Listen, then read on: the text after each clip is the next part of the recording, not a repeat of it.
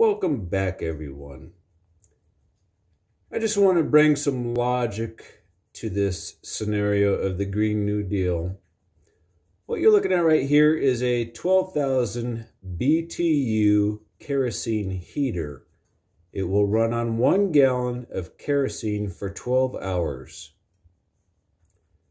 So with this Green New Deal, these things like this are very nasty, even though this burns at 99% of efficiency, unlike a battery.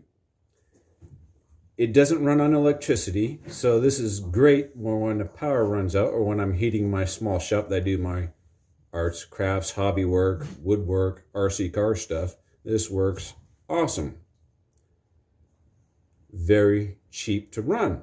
So my question to you smart people out there is how many 18650 batteries would I need to get 12,000 BTUs for 12 hours?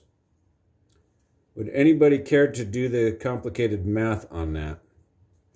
And second off, does anybody make a portable, rechargeable electric heater that will do that? Let me know in the comments section. Feel free to.